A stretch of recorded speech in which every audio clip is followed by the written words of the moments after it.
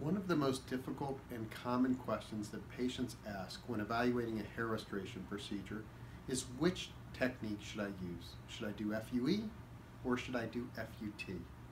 Which is going to give me more grafts? Which is going to be better for me particularly? There are many factors that go into determining which procedure is best for an individual patient.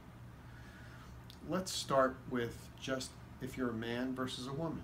In most instances, women are best suited for the strip or FUT procedure. This is because in FUE you have to shave the back of the head, the donor area, and that's normally a difficult process for a woman to do. It's not that they don't have long hair and that they can cover over the area.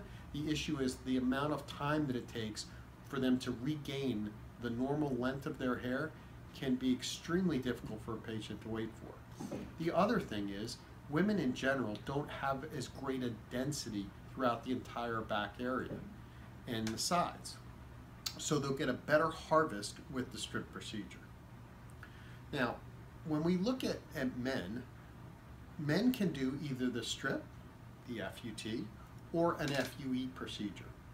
And some of the factors that go into that can be determined by what a patient wants to do with their hair after they've transplanted.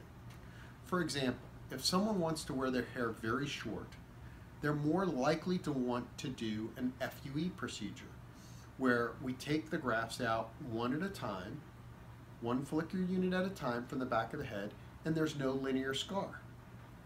Now that isn't to say that the strip procedure leaves a big scar. In general, you just get a fine line.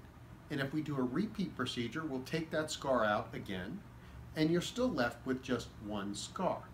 However, some people consider that to be more aggressive procedure than doing the FUE.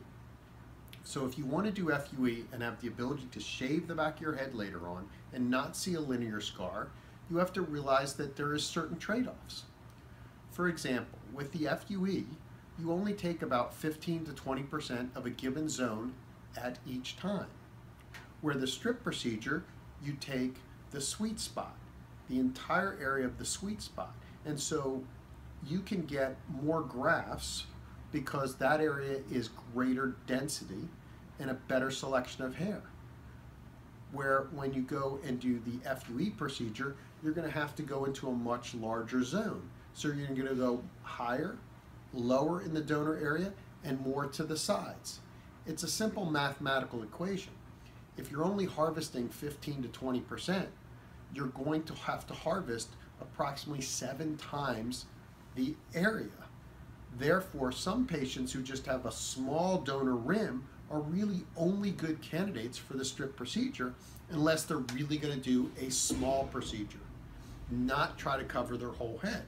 So you can see there's this trade-off that goes back and forth. And that's why we like to do consultations on patients and evaluate them and kind of go through the pluses and the minuses. It's important that patients understand and are provided with both a long-term and a short-term plan for their hair restoration. And what I mean by that is that hair loss is progressive. So the hair loss that you have today isn't necessarily the hair loss that you're going to have 10 or 20 years from now. So what we need to do is determine a plan that's good for today and that's going to carry you through.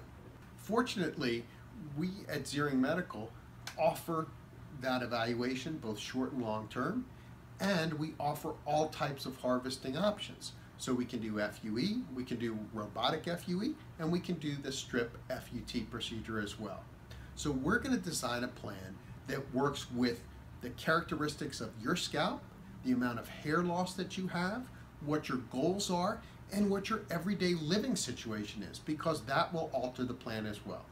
So that's a little glimpse into what we call trichosculpture.